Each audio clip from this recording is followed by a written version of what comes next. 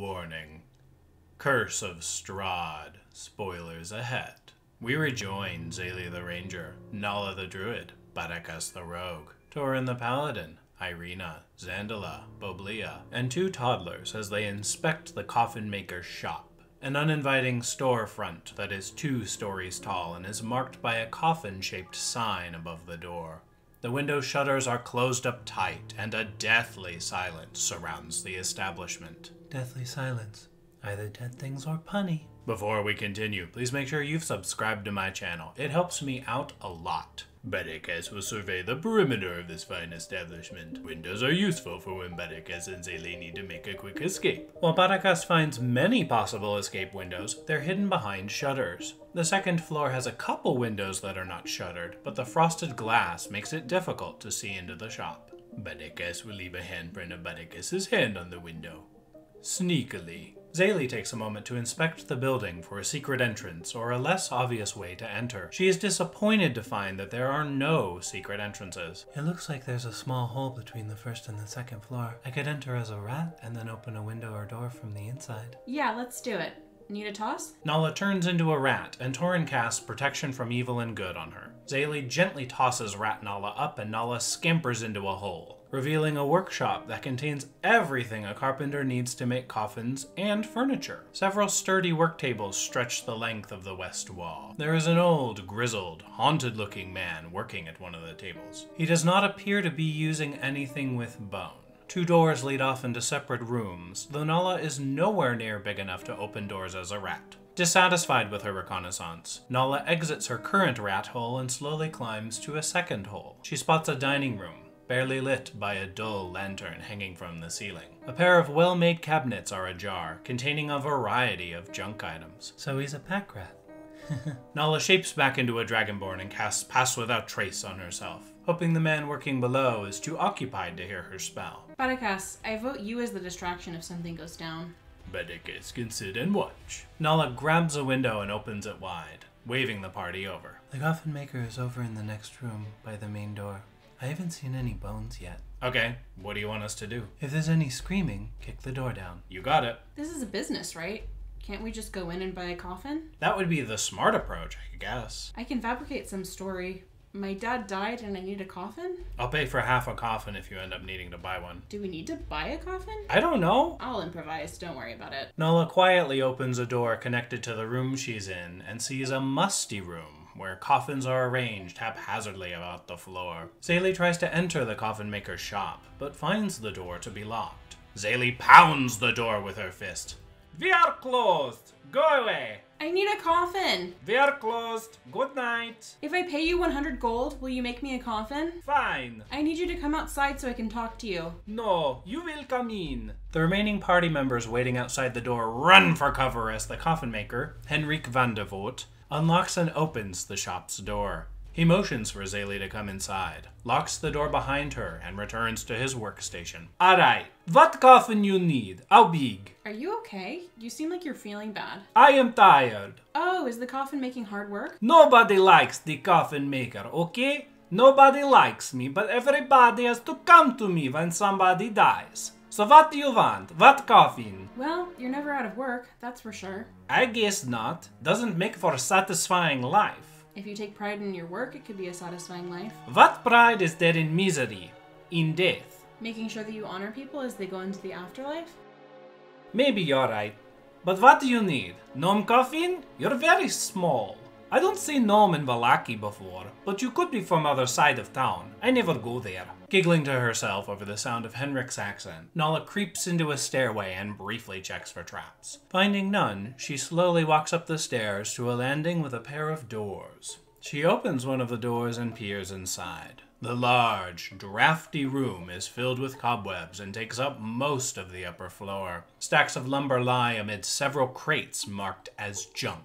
A possibility. Hopefully the other area has less junk in it. I bet the bones will be in the last place we'd want to look. Maybe he has a bedroom. Muttering to himself, Barakas has made a full loop around the coffin maker's establishment. He tries to open a locked shutter. Surprise! It's locked. Never mind Torrin, Zandala, Irina, and the toddler standing near an open window. Nala leaves the room with junk crates and proceeds across the hall. The door opens quietly at her touch. Henrik leads Xaeli through the workshop door into a room that contains many coffins on display. Here are the coffins I have made. Do you see one that you like? I don't want a small coffin. I want a double wide coffin. Double wide? yeah, let's look. I do not have a double wide coffin. No one asked for those. Continuing his wandering, Barakas comes upon a locked door. Barakas wonders if Barakas could make a key. If only Baracas had something to open doors.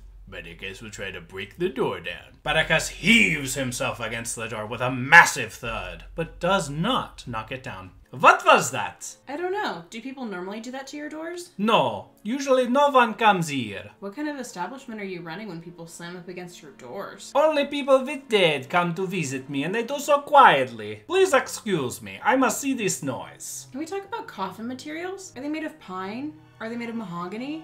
Are there options? One moment, please. Fine, I'll go look at these coffins then. Henrik opens the door and sees Barakas on the other side. Hey, why you slam on the door? Barakas can't get in. Yes, because we are closed. Go away. Henrik slams the door shut and locks it. Ah, Aw, Barakas is sad. Yes, the coffins are made of pine. Some of maple, some of oak. What kind of tree do you want the coffin made of? Tell me more about the process of how you cut down a tree to make the coffin. Do you have to dry it out? How long is it dried?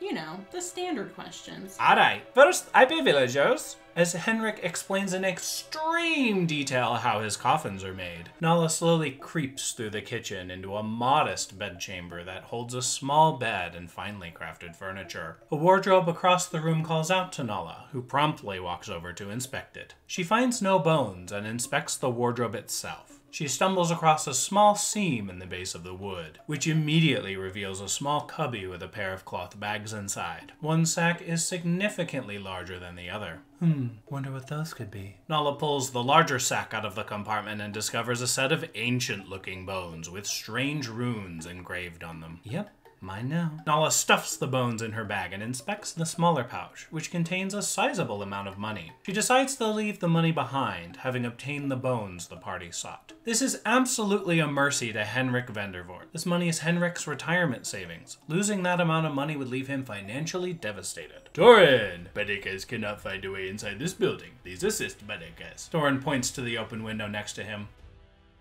Oh, okay. That was smart. But I guess we'll do that next. Torrin, are you being chaotic? I'm simply assisting Barakas. Maybe a little chaos would do us some good. So once the wood is dried, do you put some kind of varnish on it, or is that done after you cut the wood but before you dry it? The varnish is expensive. Depends on the person we have to bury. As Henrik goes into another long, rambling monologue about how coffins are made, Nala sneaks down from the second floor.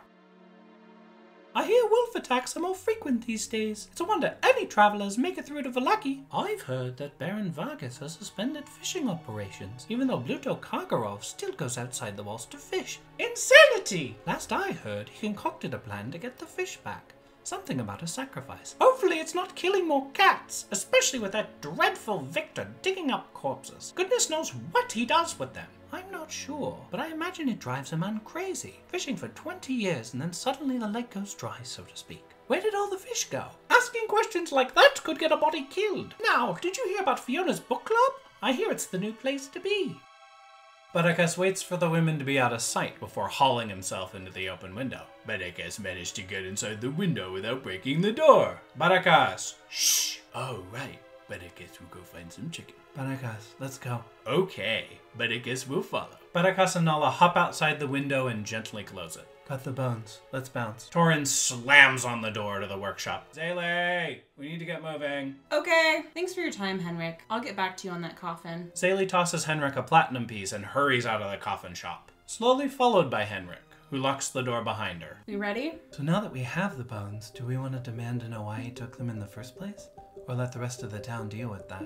I don't know what people use bones for. Well, these are the ones that are supposed to protect the church from the vampire. I don't know if we'd be the best people for that. Lucian needs to keep a better eye on his bones. That too. Henrik Henrik seems alright, so it's weird that he's mixed up in this. Where to now? The church. Let's get these bones delivered. And then I need to help Milivoj with his plants. As the party heads to the church to deliver the bones of St. Andral, I can see no better time than to elaborate on what has been happening behind the scenes. The whole idea started when Strahd von Zarovich, disguised as a nobleman, visited Henrik and promised him good business if Henrik would keep some storage crates safe. As curiosity is a tragic flaw, Henrik opened one of the crates and was confronted by the sight of a vampire spawn. Henrik was not turned into a vampire spawn, though six spawns unliving on the second floor move about the building after dark. After Yeska passed information about the bones to Milivoj, Milivoj passed the information along to Henrik, who Milivoj saw as being willing to buy the bones. Milivoj's intent was not to destroy the church, but rather feed his siblings, even though his actions could have had dire consequences. But now, what will my players choose to do after returning the bones? Will they report Henrik's activity to the town guard? Will they leave him to his own devices? We shall see. The party passes through the town square on their way to the church. The shops and homes that enclose the town square are decorated with limp, tattered garlands and painted wooden boxes filled with tiny, dead flowers. In the center of the square, peasants in simple clothes eye the party suspiciously as they use various containers to draw water from a weathered stone fountain. Standing tall at the center of the fountain is a gray statue of an impressive woman facing west. All around the square are posted proclamations. Come one, come all, to the greatest celebration of the year, the Wolf's Head Jamboree! Attendance and children required. Pikes will be provided. All will be well. Xaeli walks over to a peasant. What's the Wolf's Head Jamboree? The peasant looks uneasy. It, uh, it already happened. Oh, what was it? They put wolves' heads on pikes and paraded them through the town. Okay, thank you. Xaeli tosses the peasant a silver. As she turns to leave, the party notices a particularly dour Barovian with a fiendish arm who strides purposefully into the square. By fiendish, I mean if you were to rip the arm off of a devil and place it on a man who's had an arm ripped off, fiend-ish. The man, accompanied by two guards, starts tearing down the old proclamations and posting new ones that read, Come one, come all, to the greatest celebration of the year, the Festival of the Blazing Sun! Attendance and children required, rain or shine.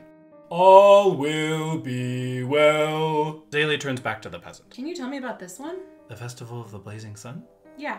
Well, my wife's sister's uncle's daughter's friend got invited to the Vallakovich mansion to help weave clothes for the children in the wicker sun they plan to light on fire. I don't really know anything else. Should happen tomorrow or the day after. Okay, thank you. Xaeli tosses the peasant another silver. The party just stands and watches the men replace the pamphlets. The man with the fiendish arm suddenly stops what he's doing and stares at the party. Specifically, he appears fixated on Irina. The man quickly walks over to the party, his gaze now freakish and unwavering. Irina, get behind me. Children, to me.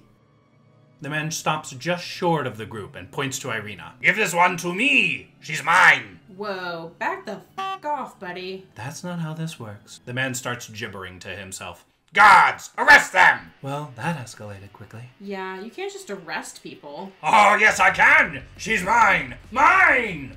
In the next episode, the party faces an important choice hand Irina over to this fiendish individual or risk the entirety of the Vallaki Guard coming after them. Based on what you know, what choice will they make?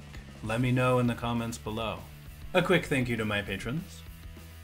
And thank you all so much for watching. If you enjoyed this video, please hit that subscribe button, smash that like button, share my video on your Twitter, Facebook, or other social media, and make the leap to become one of my patrons on Patreon.